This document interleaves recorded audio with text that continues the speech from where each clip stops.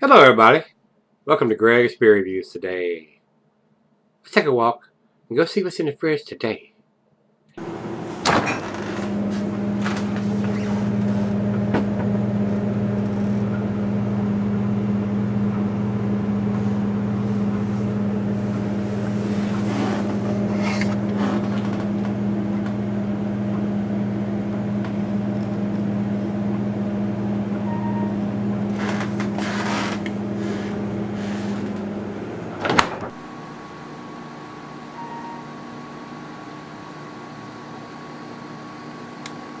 Hello everybody. Welcome to Greg's Beer Reviews today. Thanks a bunch for stopping by. I Do appreciate.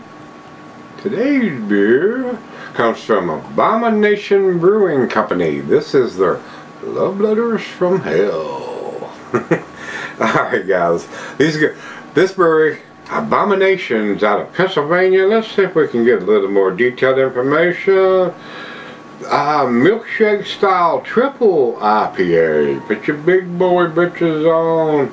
Uh, with candy heart sprinkles, marshmallows, milk sugar, vanilla bean, strawberry, ice cream, and artificial colors. Yum, yum. Everything except for the artificial colors. We could do without that. I mean, what? Come on. Just leave it, whatever. It must have it must have been a crappy color for them to have to change that. Uh, store cold and drink fresh. Okay, now if you want me to drink it fresh, you have to put a date on so I'll know if it's fresh or not. Is it got one? And looks like we have a five-digit Julian code. Again, first two numbers, two three. Last year's beer. And next three numbers, three five three. 353rd day of 2023. So that was right at the end, there in December. 353, 365, 12. That's right before Christmas. So, yes, fairly fresh. Fairly. Uh, and it says here, brewed packaged by Abomination Brewing in North Haven, Connecticut. So a Connecticut beer. It's distributed by 12%, so they are huge distributors, 12%. Uh, they do a lot of breweries beers. Label artwork Sam Heimer. So good job, Sam. Got the skulls and spikes and teddy bears and all kind of things in here.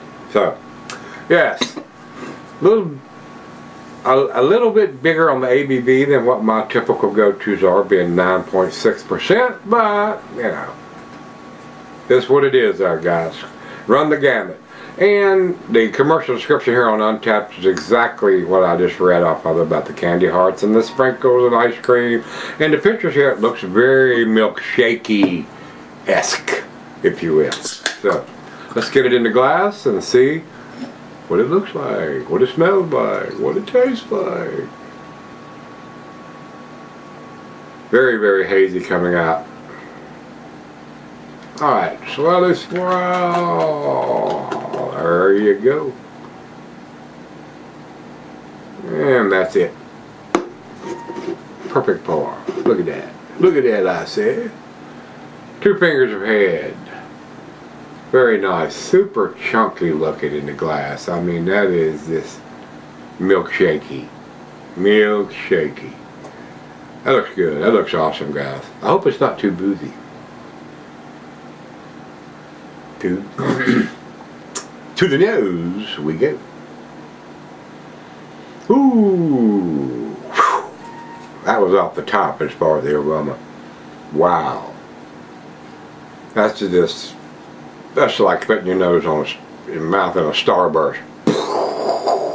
Explosion of flavors and aroma. Wow, that's, I mean, it's got everything in it. It's got absolutely everything in it. All the flavors. It's got, I'm smelling everything. I'm smelling, I'm smelling peaches and pineapples and grapefruits and oranges and mangoes and apricots and oh wow and nectarines and grapes and melons and I mean I'm smelling every everything known to every fruit known to man wow that's all the chart aroma. That's about the, that's a, the best smelling beer of 2024 so far. That is the absolute 11 on a scale of 10 as far as aroma. Best smelling beer of the year so far. Alright guys, it's time. Let's dive in. Cheers.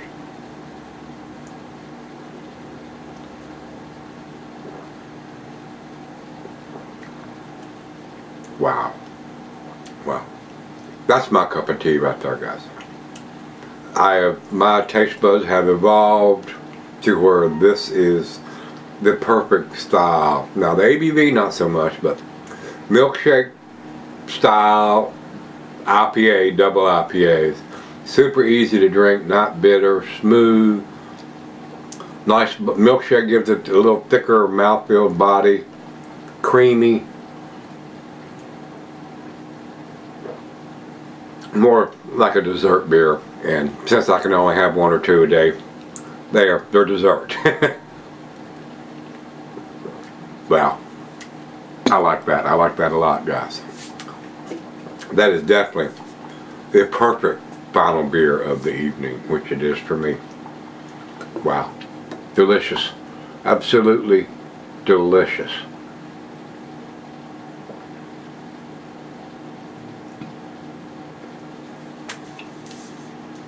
Very impressive. Very impressive. I may go against the grade on that one, guys. Uh, and I've told you on all of them so far, this beer was not a cheap beer to buy. This beer was $8.69. Almost nine bucks for this can of beer. nine bucks for one can of beer.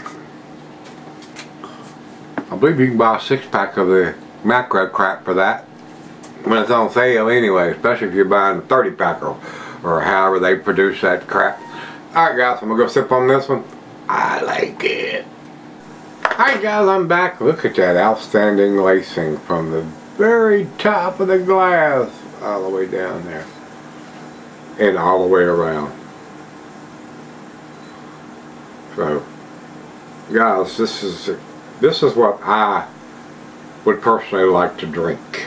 Uh, not necessarily this much alcohol, even though it's not boozy but 9.6%. I mean, it's there whether you taste it or not. So.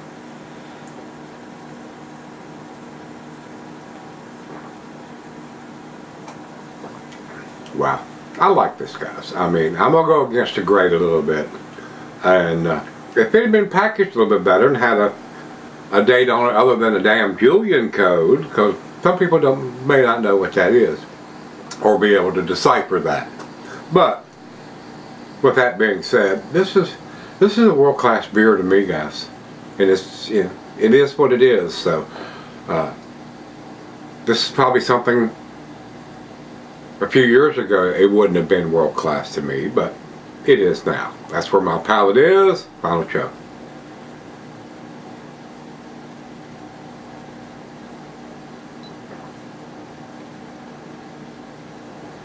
Oh yes. I enjoyed that, guys. I mean, to me, this is a 10 beer and a 9 can because of the Julian code. I would have gave it a 10 if it had a regular date on it. But that's just me. That's just, that's just me. Uh, that's where I'm going to leave that.